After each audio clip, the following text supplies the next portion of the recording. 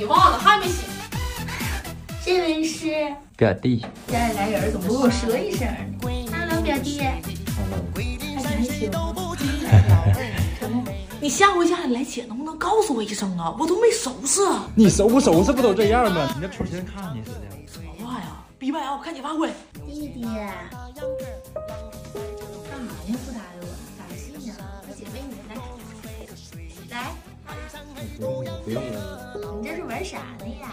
我玩的就是最近很火的《寻道大仙》，这是一款国风修仙养成手游。这游戏看着挺好玩的，咋玩呢？就是砍树修仙，砍树就能获得不同属性装备。想要提高神装掉落概率，就升级仙术，而且挂机就能长 UV，又轻松又好玩。你看我才玩三天，就成功渡劫到化神期。听着是挺好玩啊，但这么快就到化神，我是氪金了吗？那你就大错特错了。这游戏每天上线就能获得海量桃子，装备神兽都能免费获取，签到两千还送中国奇谭小猪妖的皮肤呢。行，那我也下午陪你一块玩啊。不用下载，点击左下角小程序就能玩。弟弟晚上是不是没吃饭呢？